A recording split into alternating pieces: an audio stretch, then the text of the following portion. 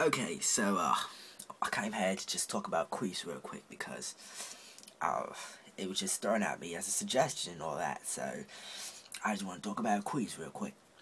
Well, uh, I remember one time I was just talking to one of my friends and she told me that she queefed. I was like, uh, uh, okay, uh, what's a queef? And she was like, oh, that's when your vagina falls. And I was like, oh, why did your vagina fall? I thought it was supposed to come out the ass. And she's like, no, that's something else, that's something else.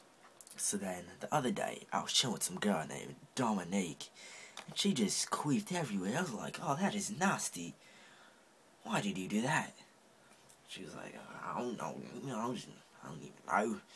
I just want to do that. I just I had to release it. It was just right there, you know, just right there.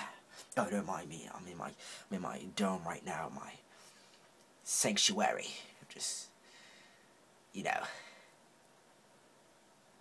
No. Anyways, well, queefs.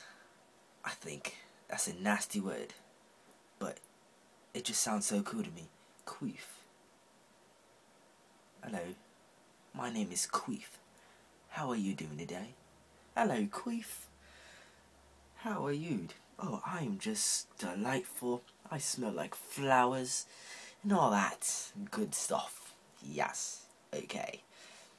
Oh. Oh, I think I have to queef. Oh, no. It's, that's only girls. Only girls queef. Okay, well, uh. I'm out. Queef.